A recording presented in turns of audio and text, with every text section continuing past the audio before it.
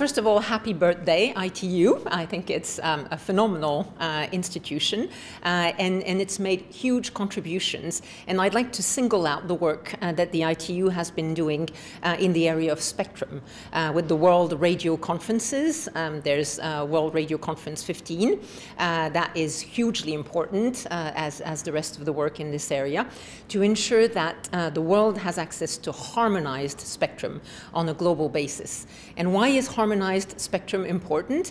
It is important because that's the way through which uh, devices, smartphones, handsets, mobile devices, tablets, uh, can be standardized and can be uh, therefore uh, produced at a lower cost and be made more affordable for people to have access to services that, that you can get access to through broadband and, and through uh, smartphones and tablets. So harmonized spectrum and the work that the ITU is doing in this uh, area is absolutely hugely important important.